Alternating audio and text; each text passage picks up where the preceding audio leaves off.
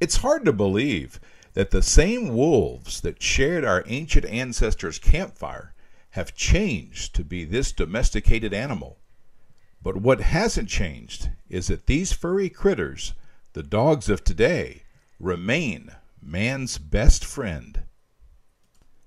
There are still wolves, all right, and they are still wild, but it's also true that all of today's dogs come from wolves.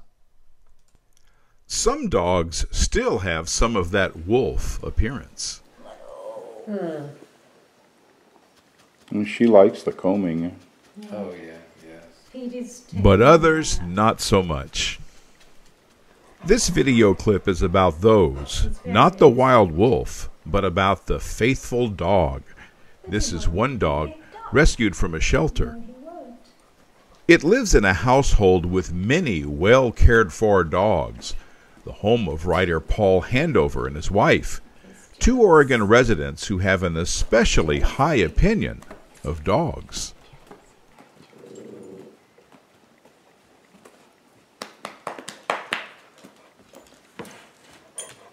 No, they're very, very special animals. And this young man here, he came from a couple that couldn't handle a rambunctious puppy and was going to give him up. And he came our way, so he's somewhat of a rescue dog. Yeah. Paul Handover advocates taking in rescue dogs. Th- th- There's a feeling abroad from some people that not not to take a rescue dog uh, because there's something sort of wrong about them, and that's that's poppycock. Um, rescue dogs are often much better uh, to have as a as a pet than taking a puppy. Especially for older people. especially for older people. And the other thing is, there's a there's a sense. It's it's a subjective, emotional position, but it's there's a sense that rescue dogs know that they've been rescued, and when they're in a loving home, they they respond so much to that.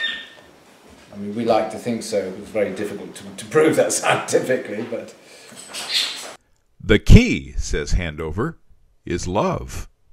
Unconditional love. I would I would just endorse and amplify the the unconditional love.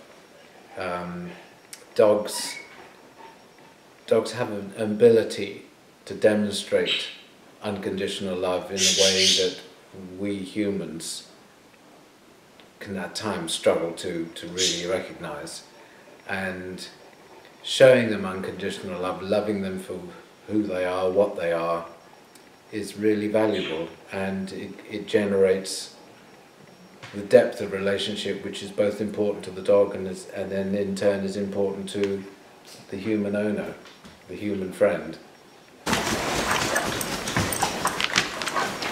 Notice there's no arguing. Everyone just waits for their treats. There's no fighting.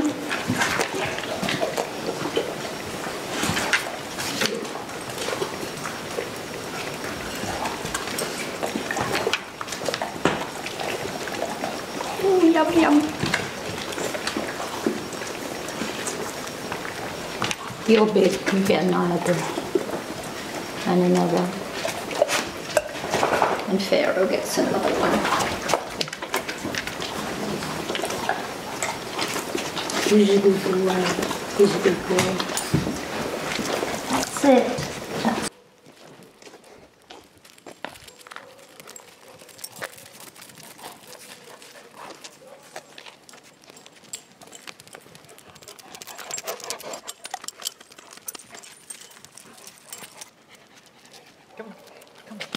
That's Ah,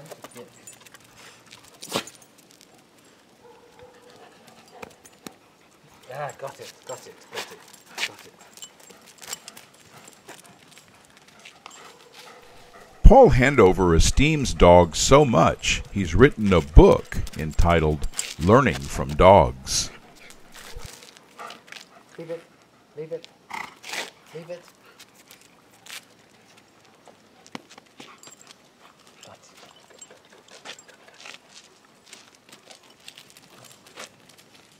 I'm thinking of training this one here, Brandy, as a service dog because he's so laid back and calm. He sure is. And I have Parkinson's and I need a little bit of stability sometimes. Mm-hmm. And he would be perfect.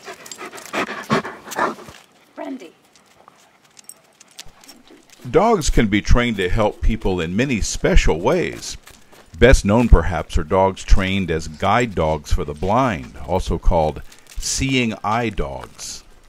In southern Oregon, some dogs are trained for people who can't hear from an organization called Dogs for the Deaf.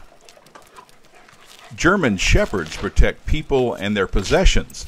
They can be trained as guard dogs. And some dogs are trained as therapy dogs. They help people of all ages cope with emotional trauma or just loneliness. Dogs often form very strong bonds with people fortunate enough to have dogs in their life. It's not surprising that in many countries, including the United States, dogs make up the largest number of pets. It's been pointed out that the word dog, spelled backward, is God. You may be surprised to learn that dogs can also be teachers. That's the theme of another video clip that you'll see soon on Ramping Up Your English.